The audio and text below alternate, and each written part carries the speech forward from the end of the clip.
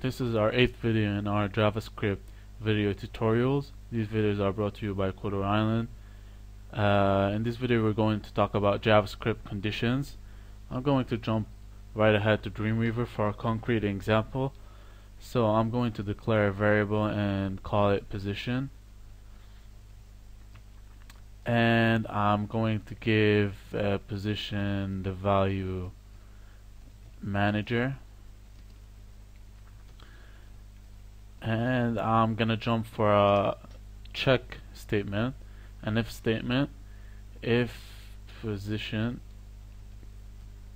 equals equals manager uh, then parse to the browser document dot write uh, hello manager. So I'm gonna save that and hit the browser so it said hello manager.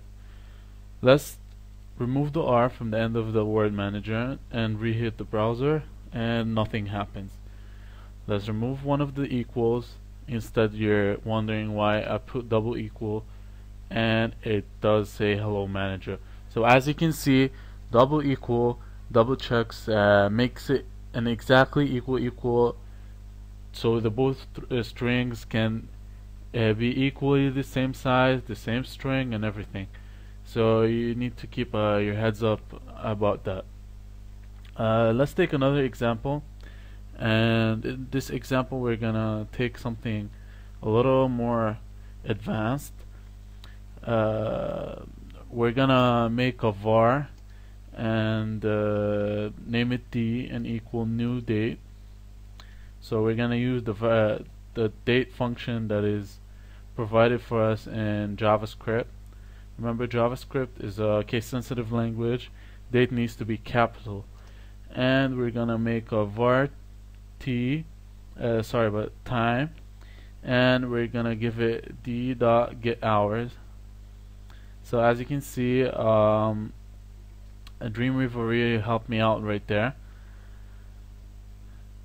and we're gonna check if time uh,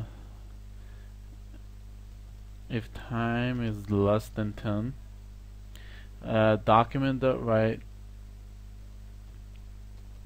document dot write uh, with a bold uh, good uh, morning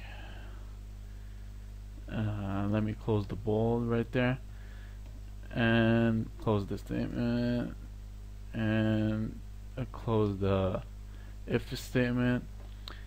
And I guess this is fine so let me run, run that. So since the time is practically uh, at night right now it's 9 p.m. so nothing's gonna happen.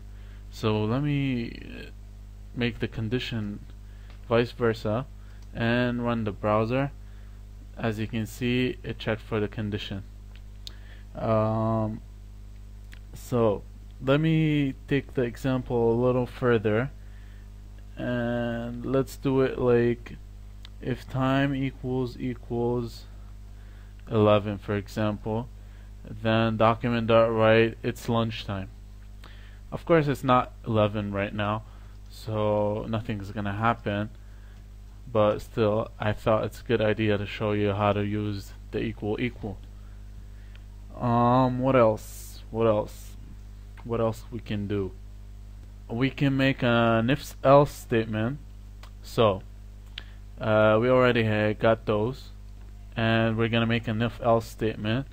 Uh, if time is less than 10 uh, then document.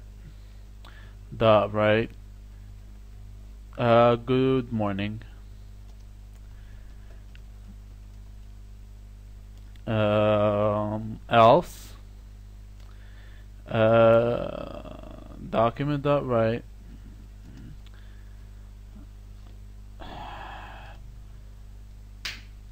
sorry about that. Uh, good night